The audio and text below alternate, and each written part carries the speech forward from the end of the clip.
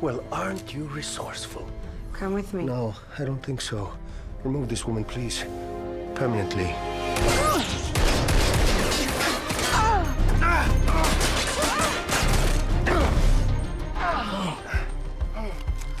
You okay?